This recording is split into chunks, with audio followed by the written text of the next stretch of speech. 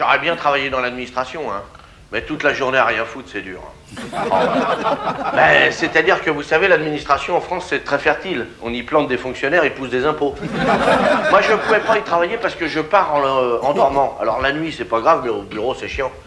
Et puis alors, le premier jour que j'arrive à l'administration, personne.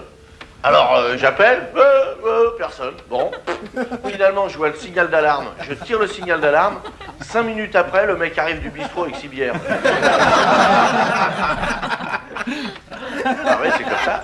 Alors j'arrive, mon vieux pas de bol, il nous donne du travail comme quatre. Heureusement, on était huit.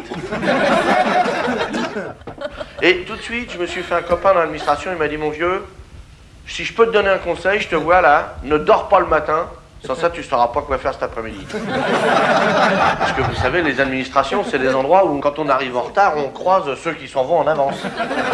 Et d'ailleurs, on dit que si jamais il y en a un qui meurt dans l'administration sur le lieu du service, il faut lui retirer les mains des poches pour faire croire à un accident de travail. Ah oui Sans compter qu'à l'administration, on devrait lui confier l'inflation. Ben ça la stopperait pas, mais ça la ralentirait considérablement quand même. Hein. Combien vous croyez qu'il y a de gens qui travaillent à la sécurité sociale Hein? Un sur quatre, et je suis large. La sécurité sociale, tout est assuré, sauf la pendule. Ça, on risque pas de nous la voler, le personnel a les yeux constamment fixés dessus. Hein? Alors l'autre jour, euh, une copine, je la vois qui part en avance, le patron lui dit, dites vous partez en avance et vous êtes arrivé en retard aujourd'hui déjà. Ah ben dit justement, hein, je veux pas être en retard deux fois dans la même journée. hein.